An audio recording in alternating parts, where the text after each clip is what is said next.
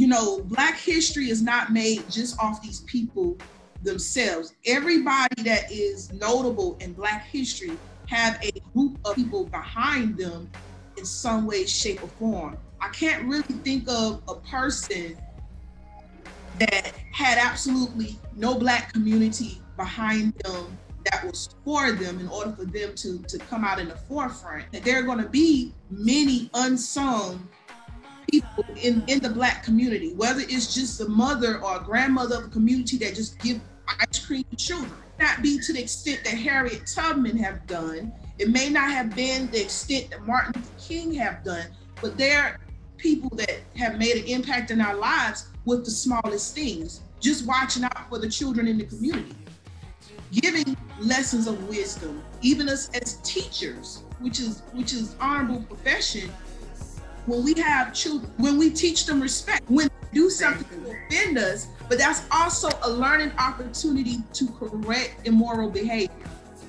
Great. Yes. All of us that are people of color, when we're being role models, when we're being role models for these children, we are pushing forward the vision of Black history. We are coming against those stereotypes about us being lazy, shiftless, and things like that. And I think the main thing that, has to happen with us, we got to stop believing the negative stuff about ourselves and we got to stop saying that we don't work together.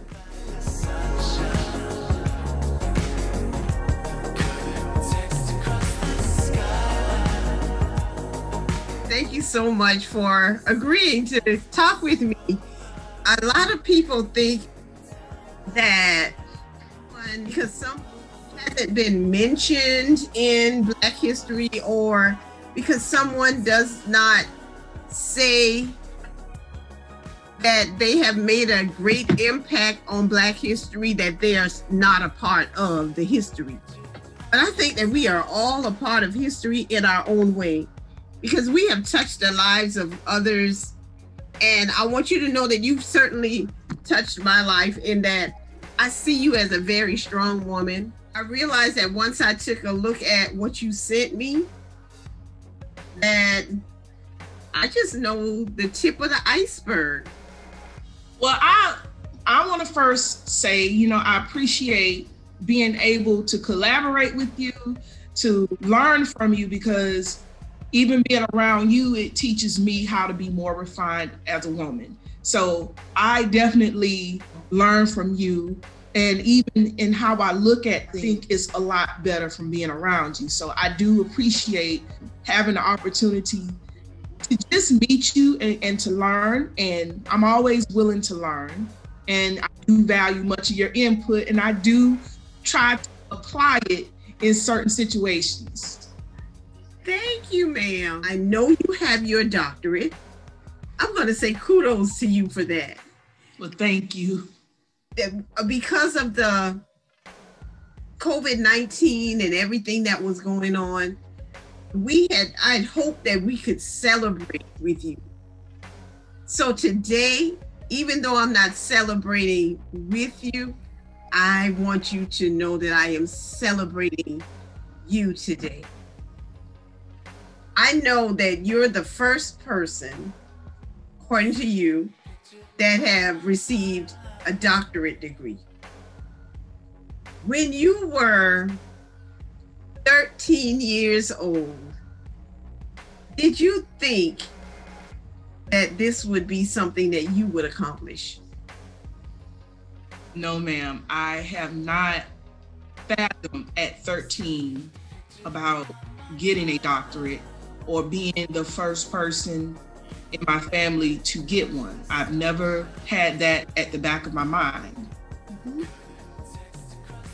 I want to say when I was 17, that was when I had a classmate told me about uh, educators being able to receive a doctorate. And I think that is where uh, that seed of knowledge was dropped upon me. This was your classmate? Mm-hmm. This is what I'm talking about. And I like the fact that you use the word seed of knowledge because she planted that seed. and we saw it. I got to see it grow and become a reality. It's amazing, amazing. So that just tells you about the difference that we can make in the lives of others. Now, you also shared some information about an aunt of yours that was this much special to you, even though you may not have known her very well because of the time you didn't spend with her. I could have known more about her, but in her final years of her life, I'm gonna say within the final decade of her life, that's when I have bonded with her the most and learned the most about her because I live in Columbia and she lived in New Jersey for many years before returning to her hometown, St. Stephen. So even when she returned to her hometown in South Carolina, there has been a lot of space of difference. I've met her um, once or twice as a child, but in the smallest thing she did was reach out to me after I graduated from high school when I was 18. And from there, she opened up a way of communication, letting me know, you know, I'm your aunt. I want you to know I exist. You know, I congratulate you. I care. So with her doing that, when I was able to get my first vehicle of my own and you know venture out and travel, she was one place that I I traveled to for the first time by myself because St. Stephen, I normally would go there with my parents, and I just decided to go visit her. And it blessed her heart and it blessed mine to be able to each other. Okay, and that's Mrs. Vernell Hesse Davis. Yes, ma'am. That's the aunt you visited in the hospital with your father. Was that? Yes, ma'am. Okay, because you told me about her being this spooky kind of lady. And we are colleagues and we both teach at the same K 8 school in St. Matthews, South Carolina. Right. I am content that I received my master's degree. I am elated that you have your doctorate degree. Now, in that, in you have your doctorate degree, but you also have a nonprofit. What's the name of your nonprofit? The name of my nonprofit organization is Kappa Epsilon Lambda Royal Christian Sorority Incorporated. I began this nonprofit in 2014, and the reason why I felt that the, the community or communities need a nonprofit such as this one um, is for Christian women who wants to link up with other Christian women to celebrate Christ, to have fun. And I know a lot of times when we go to church, you know, sometimes you just meet people only in the pews and that's all you know. You know, sometimes you don't have that opportunity to fellowship with other women besides the church walls. And so we're not necessarily learning or understanding our neighbors just by sitting in the pews, leaving and going home. So, what my Christian sorority int- attends to address is women being there for one another as Christians. Us, you know, iron sharpening iron, coming together, showing that we can go out, go places, have a good time. It doesn't have to be a messy conversation about someone. We can continue to edify one another and do great things together. So, if anyone wanted to be a part of this organization, what are the requirements? Well, you need to have a relationship with Christ. Mm-hmm. That, that being said, you know, you need to have received Christ. You need to be at least 18 years or older. You do not need to be a part of a secular sorority. We are our own sorority. We're unified with all of us being in the same sorority. And it's no disrespect to other sororities, but this is the sorority for women who do not have their own sorority, and that's what it's for. Okay. And it's also so that you won't feel like, because we don't know what's involved with other organizations, but we know our organization, you don't have to compromise your Christian principles in any way. We just ask that, you know, you're honest, straightforward, with your responses whenever you should anyone decides they want to join. So is there a website or somewhere that someone could contact you if they wanted to join this organization? The direct way to contact me can be on Facebook.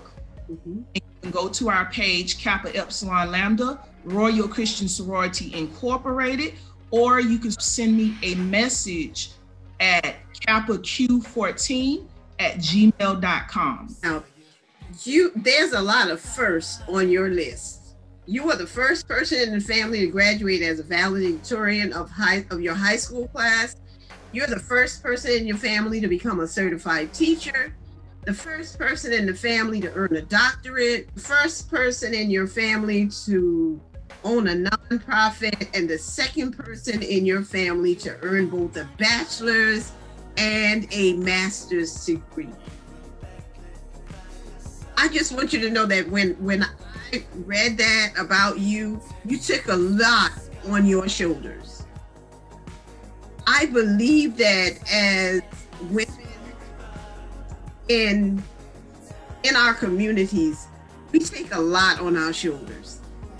And that if someone were to to look at you and not know this about you, you certainly do not step out as if your head is in the clouds and you are better than anyone else. Though you could wear your crown and wear it proudly because you certainly earned it. I have met a young lady and she was one of the first people, oh, I'll say the first person that I can remember to ever call me a queen.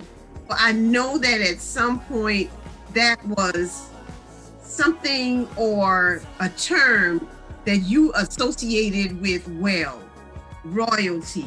As a matter of fact, when I look at your flyer, you have it color covered in purple. Why is that so important to you? Because a lot of the issues going on with whether it's a woman or a man having low self-esteem it's the way people look at themselves. And coming up, I have really um, went through a lot growing up and to be a little more transparent, my upbringing, because adults did not know better in our family concerning self-esteem and certain things you don't say to children. And you know, certain things you don't say to people. And unfortunately, as a child, when it's done, it's not so much you can say and then when they say horrible things to you, you embrace it, you believe it, and it plants seeds of fear, it plants seeds of doubt, it plants seeds of hurt, pain, resentment, maybe even unforgiveness at times. So when it comes down to embracing royalty, this is something, this is a concept I had to grow into. I had to learn. I had to gain a better mindset of who I am.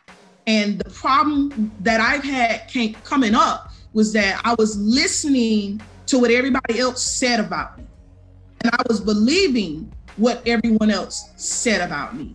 I was in situations where people in my family, very close to me, when they seen that I was struggling and was without, rather than trying to help, they criticized, they ridiculed, and I was still, if it was left up to them, in the same predicament. So the beauty about my journey and why I had to come the route that I had to go is because college taught me how to embrace myself. It taught me to recognize who I am. It taught me to find out who I am.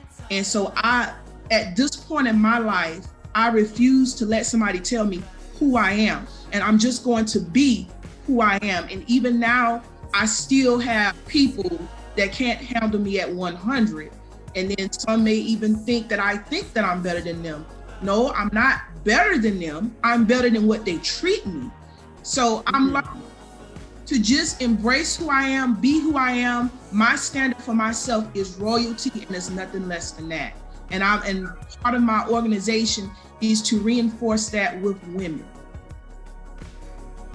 lots of times when people grow up being negatively impacted by others, they don't they don't turn out the way you have.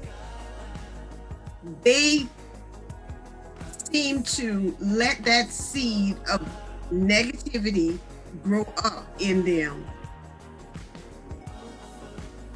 I know that you have Jesus Christ inside of you. I I know that because of my dealings with you and my time spent with you.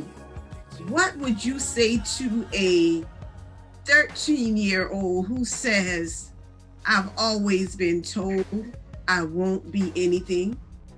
I know that I will always be this way just because you were able to overcome that type of environment, what would you say to them now at 13 to make an, a positive impact on their life?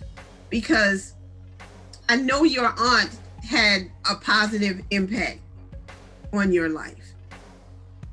I know that you may have seen others that were able to overcome certain things. You had a classmate that planted a seed in you, and that seed grew into a mighty woman of God, a wonderful teacher.